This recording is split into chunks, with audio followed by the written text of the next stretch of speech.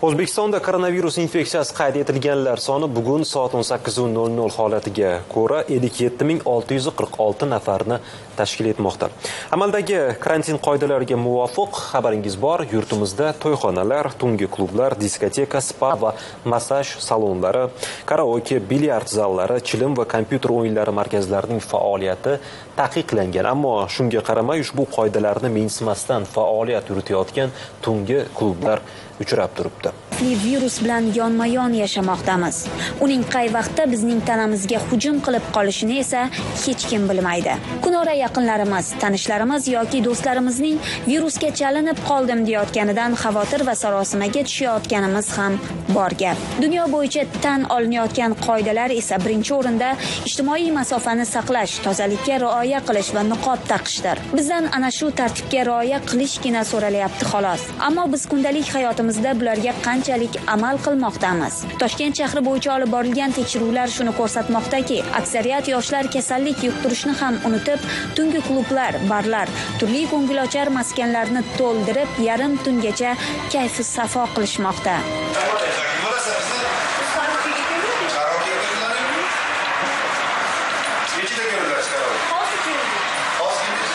27 sentyabrdan 28 sentyabrga o'tar kechasi Toshkent shahar Ichki ishlar bosh boshqarmasi va sanitariya epidemiologiya nazorat markazi xodimlari bilan o'tkazilgan tekshiruv davomida soat 23:00 dan keyin qoidalarga xilof ravishda faoliyat yuritayotgan ko'ngilochar maskanlar aniqlandi. Tungi soat 00 lardan keyin Chilonzor tumani 3-mavze 55-uyda joylashgan Black Rose nomli tungi klub faoliyati o'rganilganda, ular 50-60 nafar yoshlarga yarim tun bo'lishiga qaramasdan xizmat ko'rsatayotganligi ma'lum bo'ldi. To'g'ri, yurtimizda karantin qoidalari yumshatilib, umumiy ovqatlanish nuqtalari, kafe va restoranlarga ruxsat berildi. Ammo respublika maxsus komissiyasining bayoniga muvofiq tungi klublar, diskoteka, spa va massaj salonlari, karaoke, bilyard zallari, chilim chekish va kompyuter o'yinlari markazlari faoliyatiga yo'l qo'ymaslik alohida qayd etilgan. Ammo o'z cho'ntagini o'ylab, aholi salomatligini saqlash yo'lidagi ishlarni mensimasdan karantin qoidalariga zid ravishda faoliyat yuritayotganlar esa qonunchilikda bu xatti harakatlar uchun javobgarlik borligini unutishmoqda. Ayrimlari esa ogohlantirishlarga qaramasdan takror ravishda qoidalarni buzishmoqda. Bu endi baribir ichkilik bor, boshqa bor. Turmaydi klientlar. Mana shunaqa problema, muammo bo'lgani uchun aytaman ularga ham, "Ey, turlaring, meni problema kerak emas menga. Nima qilaman?" Yo'q desam hozir hozir ovqatlanib ovqatlanib ovqatimni yeb oldik boshqa gap yo'q. Avgust oylarida e, nima bo'lgan edi bir marta ogohlantirib ketishgandi. Ma'muriy ma'muriy jarima qo'llagandi hozir mana уже ikkinchi marta aniqlandi. Epidemiyaga qarshi kurash qoidalarini buzayotgan yoki bo'lmasa odamlar kasallanishi real xavfini keltirib chiqargan holda faoliyat yuritayotgan tungi klub rahbari avval ma'muriy javobgarlik bilan qutulib qolgan bo'lsa bu gal unga nisbatan jinoiy javobgarlik choralari ko'rilmoqda.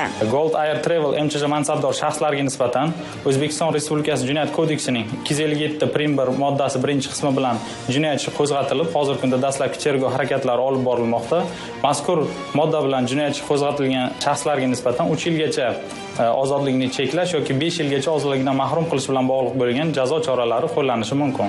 Har ne bo'lganda ham salomatligimiz o'zimizga kerak.